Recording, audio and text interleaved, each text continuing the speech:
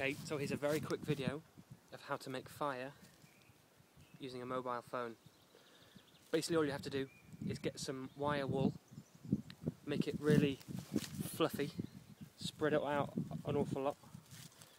Take your bundle, which I've just uh, got from here, there and everywhere, some dry grass, some a bit of bark, some dry leaves, that sort of thing.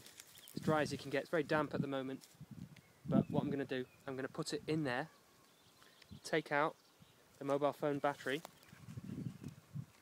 and then basically the, the, what you have to do is short out the mobile phone battery into the wire wool, and then with any luck, it should catch fire.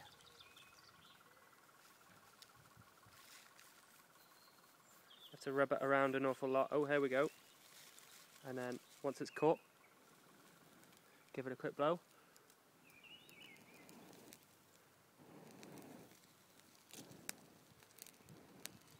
Fire. There we go. Easy as that. And make sure you put it out.